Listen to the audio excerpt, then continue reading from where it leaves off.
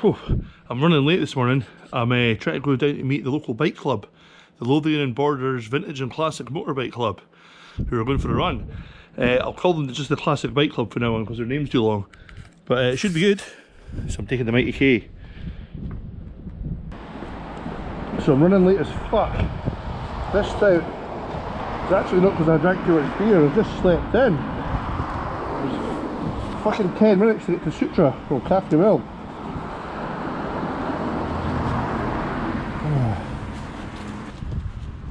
The run's when it's set off at 11, so hopefully I'll catch up with them.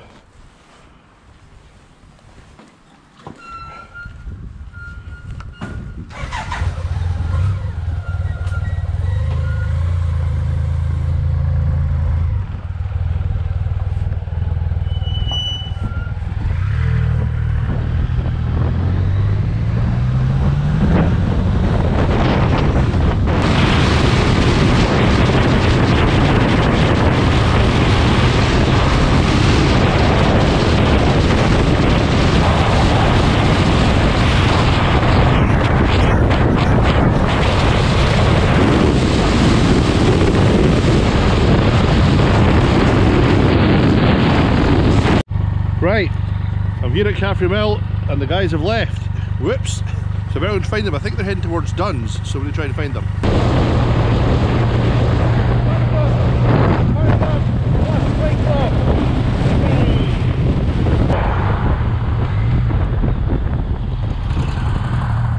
if you've got a local classic bike, bike club in your area, um, you should really go and have a run with them, or at least go and have a look and see what they're doing.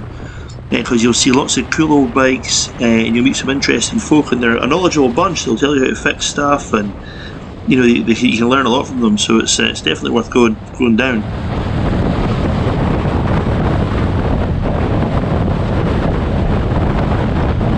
Holy shit, look at that!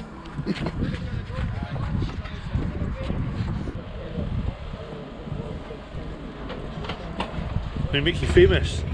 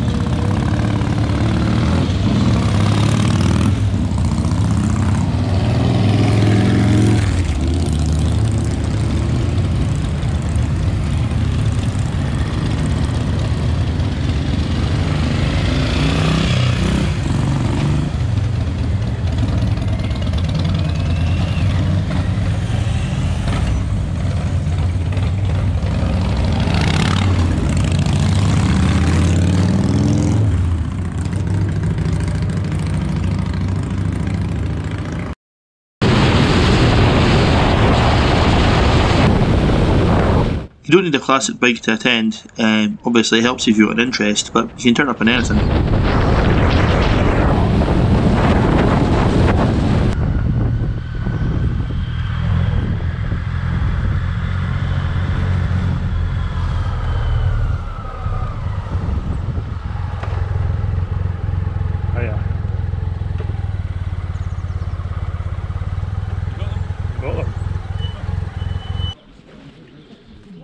Oh,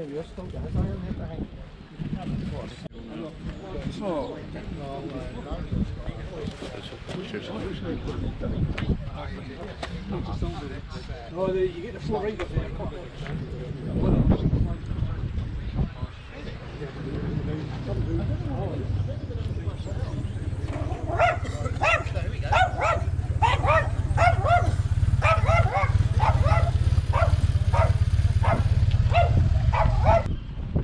This is the classic bike club meet. It's good. Had a good run so far.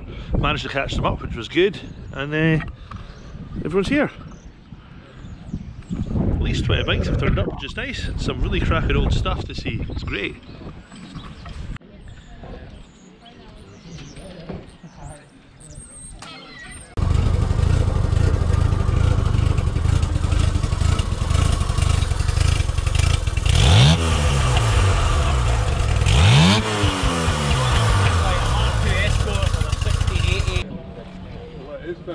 Nice. The toilet.